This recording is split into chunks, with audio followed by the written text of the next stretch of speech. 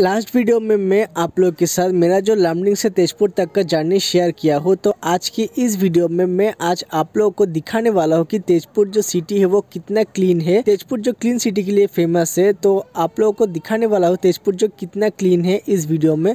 ये वीडियो जो उतना ज़्यादा खास नहीं होने वाला है बट फिर भी आप लोग देखते रहिए। तो तेजपुर का आज है मेरा दूसरा दिन एंड आज मैं सुबह से अभी जस्ट सो के उठा हूँ तो अभी जस्ट मैंने ब्रेकफास्ट किया है तो अभी मैं जा रहा हूँ अपने मामा के घर।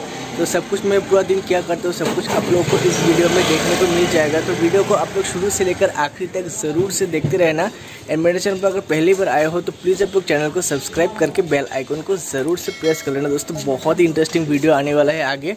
तो आप लोग अगर पहली बार आए हो तो प्लीज़ आप लोग चैनल को ज़रूर से सब्सक्राइब कर लेना। तो चलिए शुरू करते हैं। यहाँ पे जो गर्मी बहुत ही ज़्यादा है लमनिंग के मुकाबले तो यहाँ पे बहुत ज़्यादा गर्मी है, मुझे बहुत ज़्यादा गर्मी लग रहा है। तो अभी टाइम हो रहा है, सुबह का लगभग 12 बज रहा है तो अभी मैं जा रहा हूँ मामा के घर। तो मुझे आगे टेंपो लेना है, क्या करूँगा, सब कुछ आप लोग को इस वीडियो में दिखाऊँगा तो आप लोग देखते रहिए वीडियो को। तो बहुत ही इंटरेस्टिंग होने वाला है। आप लोग थोड़ा सा स्किप मत कीजिए, आप लोग देखते रहिए। टॉमटॉम से बात किया तो मैं जहाँ पे जाऊँगा वो वहाँ नहीं जाएगा। तो आगे देखता हूँ कि ऑटो मिलता है या नहीं। टेंपो आ रहा है एक। वहाँ पे देखता वहाँ पे जगह होने से मैं आप लोग मैं वहाँ पे जाऊँगा तो आप लोग देखते रहिए फाइनली दोस्तों, मैं टेंपो में बैठ गया। आप लोग देख सकते हो। तो अभी मैं आप लोग को दिखाने वाला हूँ कि तेजपुर जो कितना ज़्यादा क्लीन तो आप लोग एक झलक में देख लीजिए कितना ज़्यादा क्लीन सिटी है असम का। तो जैसे मैं नहीं बोल रहा हूँ कि लामडिंग जो ख़राब जगह है बट लामडिंग को भी ऐसा क्लीन रखना चाहिए हर जगह। तो हर दुकान के सामने यहाँ पे डस्टबिन है, आप लोग देख सकते हो एंड रोड में कुछ भी पैकेट उकेट कुछ नहीं होता। हम लोग भी अगर चाहे तो लामडिंग को भी ऐसा क्लीन सिटी बना सकते हैं। हम लोग को भी ऐसा जो हर पैकेट डस्टबिन में फेंकना चाहिए। मैं टेंपो से उतर गया तो अभी कुछ लेना है। सोच रहा हूँ कि कोल्ड ड्रिंक ले लूँ। मामा का लड़का, लड़की के लिए तो कोल्ड ड्रिंक ले लूँ तो आगे चलते हैं और लेंगे कोल्ड ड्रिंक तो आप लोग देखते रहिए।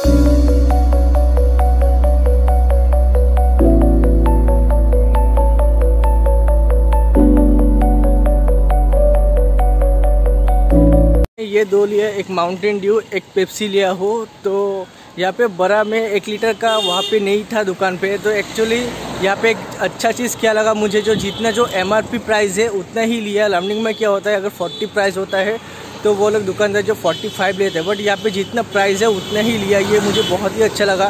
फ्रिज का एक्स्ट्रा चार्ज कुछ भी नहीं लिया तो ये अच्छा लगा मुझे।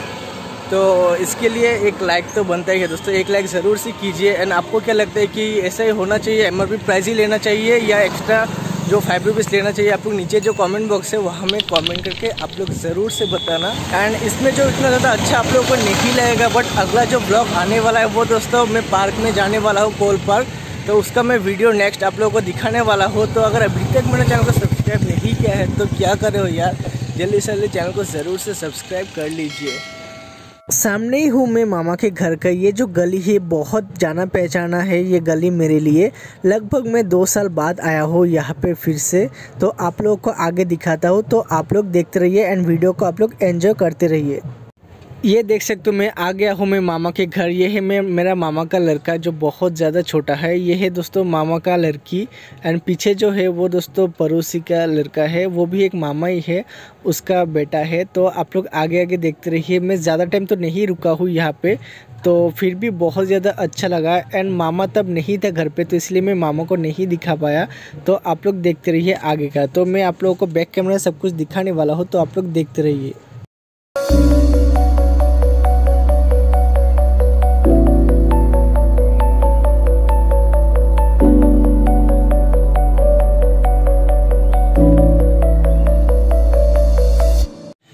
मामा के घर से मैं अभी जा रहा हूँ वापस। मौसी के घर तो बस इस वीडियो में यही तक था।